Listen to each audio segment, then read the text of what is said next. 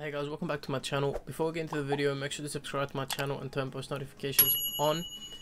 This video is going to be all about how to move this texture on this crate and move it, move the texture with the crate into Roblox Studio without needing any really extra steps.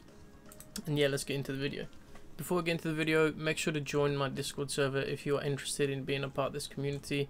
We're almost at 350 members and um, yeah, if you're interested, you know, there's resources in here. There's, you know, you can show off your creations. You can throw in video suggestions, which would help me out and uh, maybe help you out.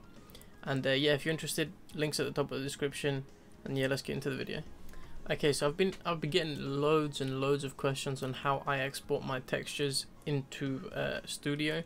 I made a video a while ago, but it's quite different. It's a loop around. This is a better method. And the first thing you want to do is you want to launch up Studio obviously so you can import it in. So I'm going to do that real quick.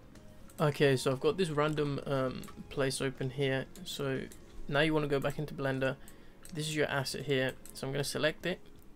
You want to go file export FBX and now save it wherever you want to save it. Before you save it though you need to make sure you change path mode to copy and then tick this little box and make it go blue. This will embed the textures onto uh, the actual asset so you can export it and it'll go straight into your uh, studio place with the texture in it and then you want to export it uh, like this. Now when you're back into studio you want to go to view asset manager here click on that and then click this little uh, arrow button here and then now you can find your asset.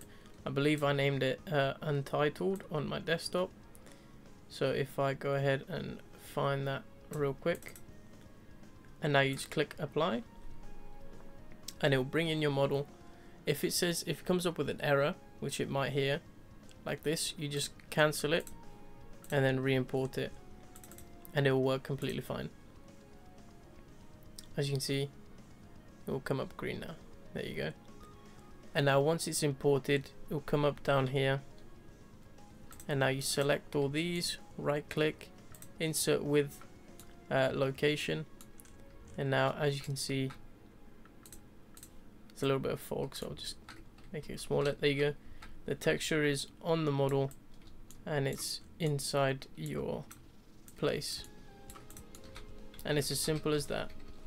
Now this works with any kind of texture. It doesn't matter how you put the texture on the model or whatever but that's basically it. This is a short video on how to import textures. Um, if this helped, make sure to like the video. And uh, other than that, that's it from me. Uh, peace.